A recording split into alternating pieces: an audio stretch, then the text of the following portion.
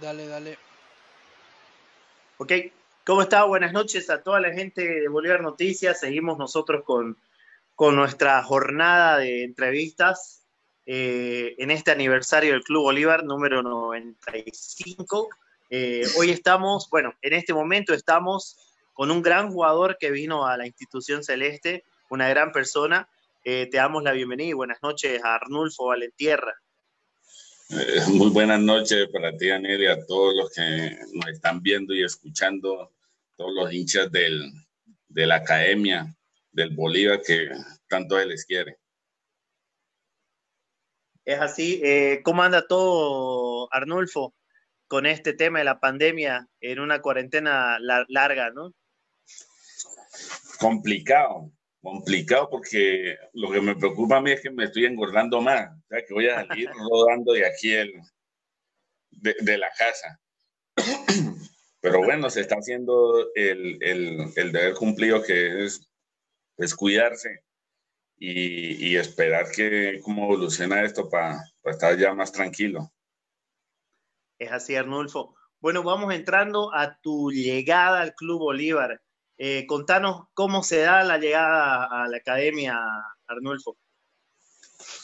Bueno, yo venía de, yo estaba en Peñarol cuando se me nombró de que estaban haciendo la gestión para ir al Bolívar. Eh, yo estaba, fue, fue en diciembre que yo recibí la llamada más que todo en diciembre recibí la llamada de Guido, que estaba muy interesado. Yo también le dije que mm, conmigo no había ningún problema.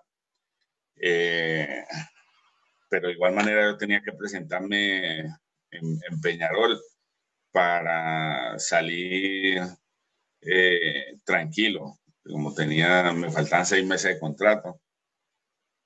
Y y se presenta, o sea, yo estoy haciendo la pretemporada eh, y ya terminando lo último para, para mi salida.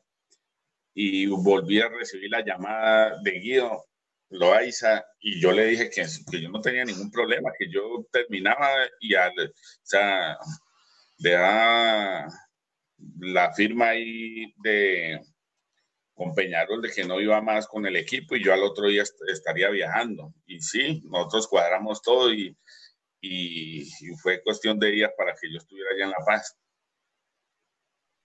Sí, se dio, eh, bueno, en el primer año eh, de Baiza, ¿no? Bajo la, la, conducción de Guido Loaiza, eh, pero el gerenciamiento de, de Marcelo Claure. Eh, fue la, la primera la escuadra que armaron entre Baiza y la dirigencia del Club Bolívar ese 2008 con varios nombres importantes en, este, en ese equipo, como estaba Damián Martínez, Fioreto, el Tuiti Carrario.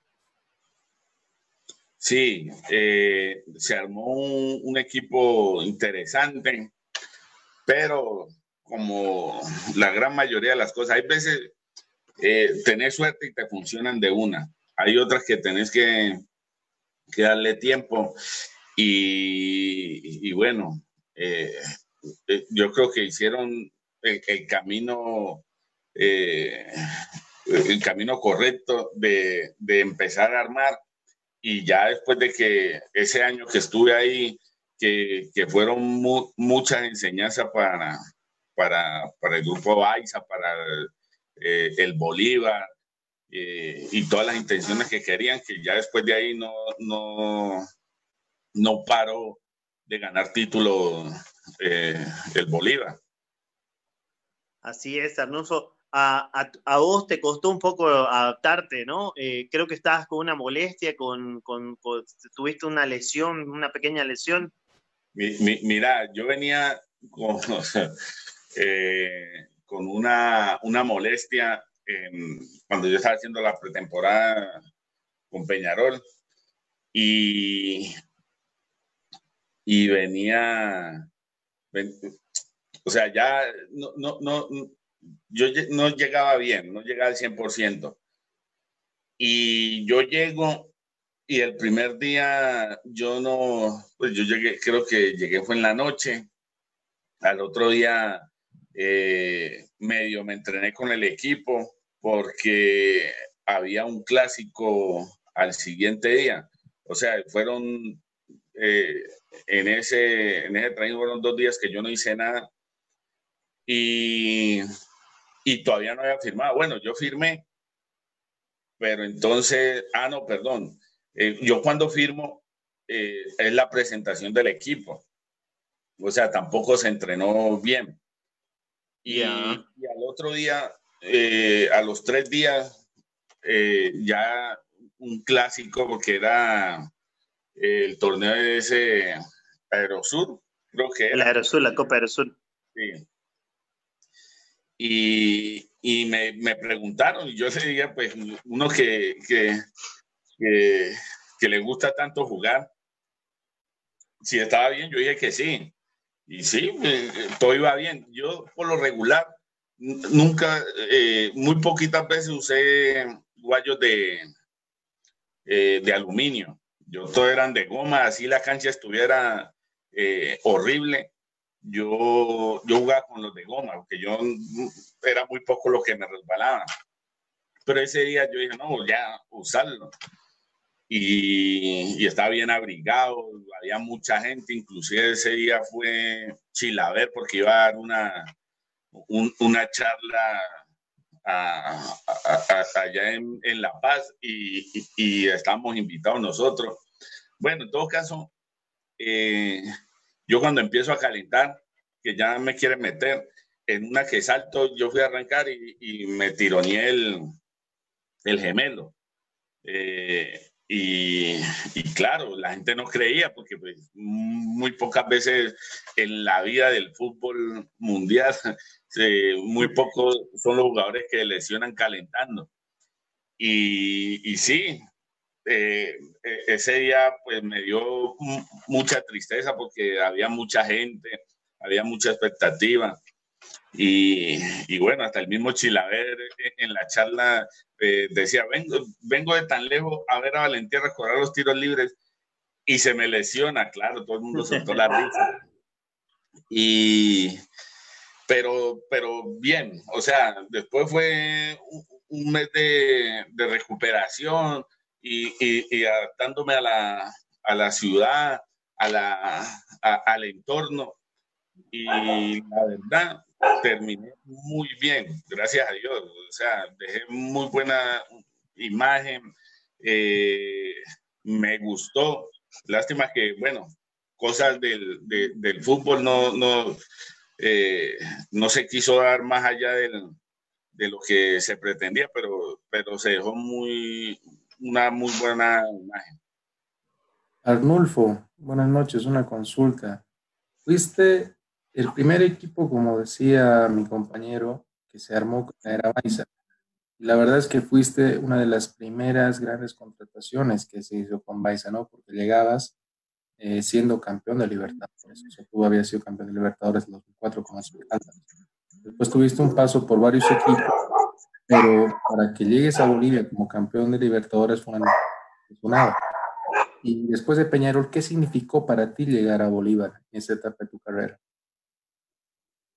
Mira, eh, Bolívar siempre, siempre eh, estuvo y está entre de los mejores de, de Sudamérica, de los mejores clubes, que le ha faltado eh, un, eh, una, una pizca para ser campeón de un torneo internacional, pero, pero Bolívar siempre, digamos, cuando se nombran los mejores clubes o los más reconocidos, Bolívar siempre ha estado ahí. A mí cuando se me nombra Bolívar, yo, mm, la verdad, no pensé, porque hay mucho, o sea, sabemos lo que se maneja en el fútbol, lo que se habla del fútbol. Y Bolivia no es que esté en, los, en, los planes de los futbolistas eh, en, su, en, en, su plenitud de carrera o, bueno, cuando se me nombra el, Bolívar, yo, pues, yo no tuve ningún problema, ningún reparo, que lo hablé con la señora y, y con mi familia.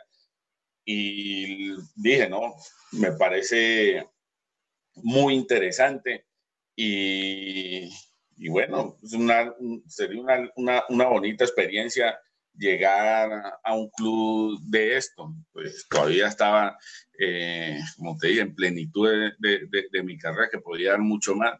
Y, y, y, fue así, o sea, lastimosamente para mí no ganamos el título o no, no conseguimos un título, estuvimos ahí cerca, pero no lo conseguimos. Y, y eso eso fue lo que también me, me, me ha dolido un, poco, pero, pero feliz, feliz de, de, de, haber estado allá porque, porque colmé todas mis expectativas. O sea, aparte que te, te, nombren el equipo, que esté ahí, eh, llegué a, a, un bonito club donde me recibieron con los brazos abiertos y que la verdad eh, me llevé una bonita impresión y, siempre lo llevo en el corazón. Tengo muchos amigos todavía que nos hablamos, aparte de compañeros, eh, con directivos de ahí del, club. Y bueno, en este momento no sé si tú mantienes alguna relación con, con alguien del equipo de Bolívar en esa época, obviamente ya muchos se retiraron, estamos hablando de ya pues bastante tiempo pero obviamente el cariño y las relaciones entre jugadores Bueno, hasta hace poco eh, que yo hablé, bueno, el año pasado, ya para noviembre, eh, hablé con, con el hijo de, de Guido de Álvaro Loaiza, que ya estaban entregando el club, eh, me comentó. hablo mucho con, con, Chema, que también está ahí en el club. Y bueno, y eh, jugadores pues, que todavía están activos, eh, con Tordoya, con Ignacio García. Eh, yo me hablo mucho y, y tenemos, todavía compartimos cosas y que hasta el sol de hoy eso, eso fue lo bonito que te dejó de, estar allá en ese, en, en, en ese club, de, de, dejar muy buenas amistades y que de, se dejó una bonita imagen y por eso todavía es el cariño de la gente y de los compañeros.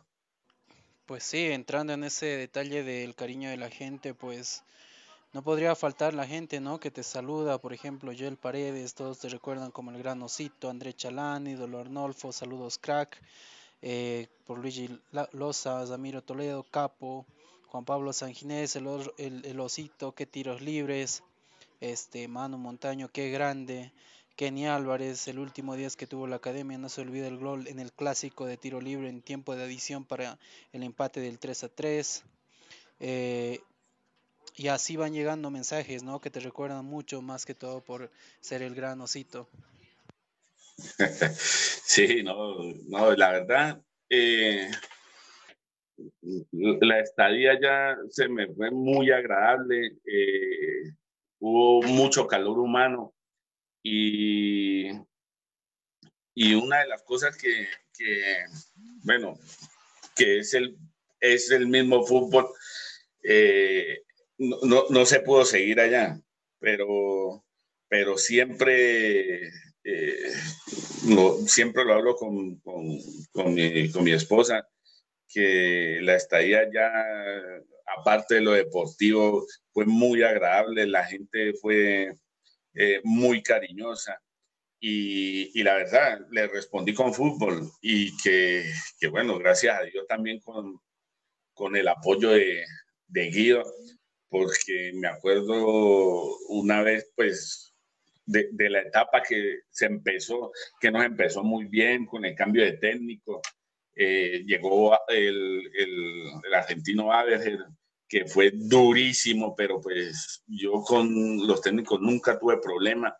Y llegó un momento de que, de que yo ya, o sea, yo veía que no, eh, él no me, no me estaba necesitando como yo quería.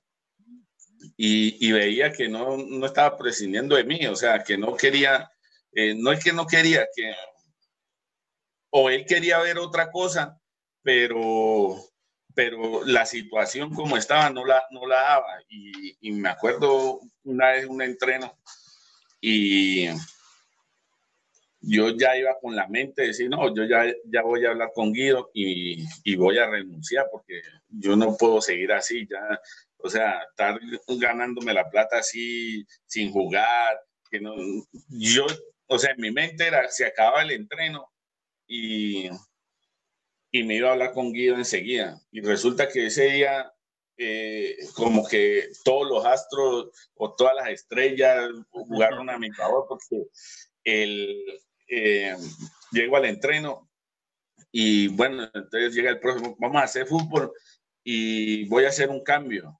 Entonces, pues todo el mundo acá mirando y yo ah, mirando para otro lado porque yo ya no me sentía como el grupo. Y me dice, Valentierra va a jugar eh, eh, de volante suelto en el puesto que, que él siempre ha jugado. Y, y bueno, y, va, y pone los delanteros, que estaba Pablo Salinas y, y Botero. Bueno, ese día ese entreno fue, eh, no, mejor dicho, Messi me quedó en pañales. Y hacía gol de tiro libre, movimiento, pase gol. Mejor dicho, eh, eh, yo me sentí como que me dijeron, bueno, demuestre lo que ustedes saben. Y desde ahí nunca más eh, eh, eh, salía de suplente. Y, y, es tanto así que, que yo terminé siendo goleador del equipo. Claro, sí, fue una temporada, o sea que como tú dices, fuiste de menos a más. creo que obviamente tenías el tema también de la adaptación, tenías el tema de que, como nos comentaste, tenías una, venías tocado de Peñarol, pero bueno, después de ese año, eh, creo que te fuiste a Unión Magdalena, si no estoy mal, ¿verdad? Sí, no, es que yo, eh, eh, el cuento, yo digo del fútbol, porque a mí me fue muy bien.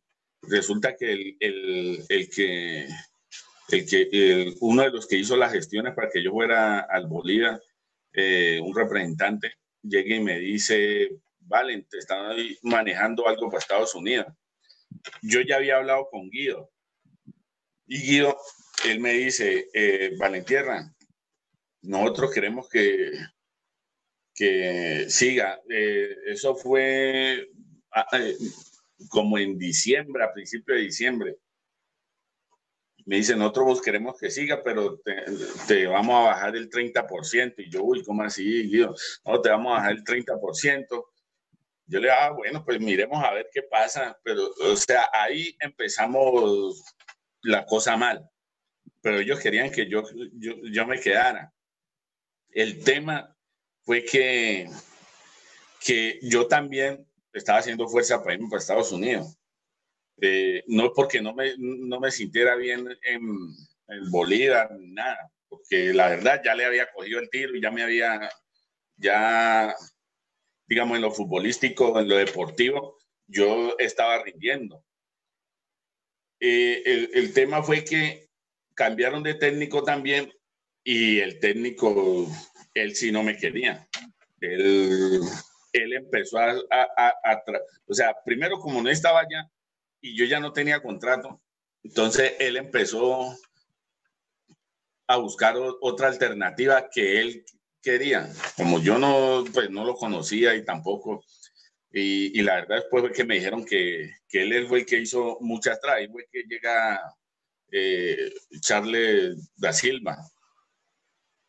Entonces, eh, ahí no, no, fue porque quería. Yo terminé, o sea, en el Unión porque yo, o sea, esperé los Estados Unidos hasta último momento y, ya me había quedado sin otras opciones y ya los torneos habían empezado, que saben, que en Estados Unidos se empieza eh, a finales de febrero, más o menos, y ya los torneos ya habían empezado. Entonces, ahí con un amigo yo quise colaborarle y todo, y, me fui para la Unión. Y, y una cosa que nadie sabe, cuando el Bolívar, el último partido, de ese semestre, el primer semestre, ellos jugaban, no me acuerdo eh, eh, contra quién jugaban, pero a mí me llama Guido y, y, y me dice que me quiere otra vez en el equipo. No, yo hacía fiesta y todo, pero había un problema. O sea, no había problema, sí y no, porque eh, el, dilema era que Charlie, eh, por el tema extranjero, entonces están tratando de ubicar a, a, Charlie. Me dicen, ya arreglamos con él. Tenemos que esperar este último partido y ya vos te venís. Yo, ah, bueno, listo, no hay ningún problema. El tema es que yo estoy escuchando el partido y meten a Charlie faltando cinco minutos y el que hace el gol del, del campeonato. Sí. No, yo miré a mi señora y yo le dije, no, ya aquí no. y soy amigo de él, charlamos ahí hay veces por fe y todo, pero ya con eso un gol del título mata todo, mata cualquier cosa. Claro. Arnulfo, eh, hay gente que se, que se acuerda del, del gol en el clásico, el que hiciste el 3 a 3, el del tiro libre, el 2008. Mira, e, e, ese partido, ese partido, un partido hasta raro porque jugamos mal, íbamos ganando, eh, ¿sí quedó 3 a 3 o, 2 1 o 2 2? 3 3 acabó. Bueno, nosotros íbamos, ah, creo que íbamos ganando 2-1. Sí. Íbamos ganando 2-1. Partido feo, eh, horrible, yo no me sentía o sea, yo no me hallaba. Y cuando en un momentico ellos nos empatan el partido, o sea, esos tres goles que hubo fueron en menos de, cinco minutos. Y ellos nos, eh, nos empatan. Eh, después un penalti creo que fue de, de, Escobar. Sí. Que nos hacen el, el 3-2 y claro, entonces ya el partido se acababa. Ya el partido, mejor dicho, ya eh, eran por ahí 10 segundos que...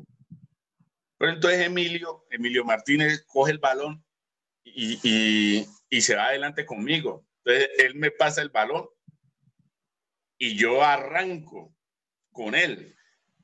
Y, eh, o sea, hacíamos como una pared y en una, yo me metí, pero yo me inventé esa falta, esa falta ahí porque eh, se metieron todos los de ellos pues como a cubrir y el árbitro pitó falta.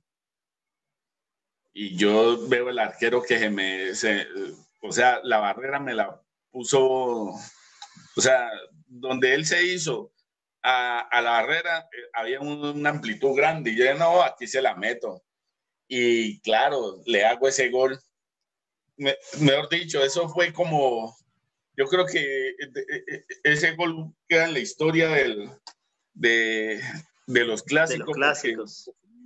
Porque, hacer un gol faltando, o sea, vos ganando 3-2, que volteas un partido y, y te hacen un gol ya para acabar el partido, es como si hubieras perdido un título o algo así. No, la alegría de todo, pero el partido para nosotros fue horrible, te cuento. Sí, fue, fue un partido chato. Después recuerdo, eh, y te debes acordar bien, era Copa Sudamericana, si no estoy mal, contra la Liga de Quito, que, que, que pintábamos para ganarle esa Liga de Quito.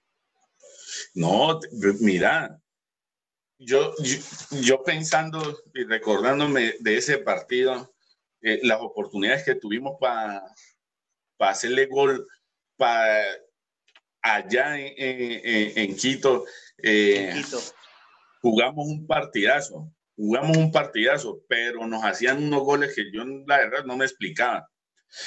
Y, y, los que nosotros teníamos para hacerlo, lo, lo, lo votábamos. Pero, pero bueno, eh, es también una cortica, eh, bonita experiencia, porque allá en, tuvimos también para liquidarlo allá en La Paz y, y lo que se comió Si te acordás, el tiburón, el, tiburón el chileno. Correcto. No, eso decir. Era para morirse lo que falló el tiburón esa vez. Era nada más tocarlo que yo agarré ese balón y, o sea, yo te lo juro, yo canté porque yo le, como le pegué al balón, eh, era para gol y allá el, el, arquero se tiró y me, o sea, medio la tocó y, y él quedó de frente con el, el, arquero. O sea, era nada más tocarla y meterla y él le pega. Claro, porque el arquero estaba en el suelo. Sí, y él le pega y sacas el balón. no. Era para morirse. Sí, pues eh, eh, la verdad. Lo, cuentan el gol y vuelvo a renegar, che. Cuentan el, cuentan el tema y vuelvo a renegar, te duro. eh, fue, ese es el fútbol, ese fue, es el fútbol. fue anecdótico ese. Sí. No. Pero bueno, eh, nada. Arnulfo, agradecerte por estos minutitos que nos has regalado. Eh, digamos, una, desde las 8 de la mañana, hora boliviana, haciendo las entrevistas. Eh, es para nosotros un honor que hayas estado dentro de esta, de este, de este, de esta terna, como la catalogamos, de jugadores que marcaron su, época. Eh, nada, si querés decirle algo a la gente, al club en su aniversario número 95. Oh, yo como lo coloqué en Twitter, felicitarlo porque eh, es un club eh, que, que lo quiere mucha gente, lo quiere mucha gente y, y es muy reconocido. Y, y, y, han ganado muchos títulos, muchos títulos. Lastimosamente no estoy en alguno de ellos, pero, pero, pero el cariño que eh, le tengo al club eh, eh, es inmenso, es inmenso. Y, bueno, ojalá sigan ganando muchos títulos la verdad se merecen ya un, título internacional y, que, que, bueno, que sigan apoyando un club tan bonito como es la academia, como es el Bolívar, que ahí siempre lo vamos a estar acompañando. Buenísimo, muchas gracias Arnulfo y que, que bueno, pronto ya no vuelva el fútbol a las canchas y muchas bendiciones. Bueno, amén. Gracias.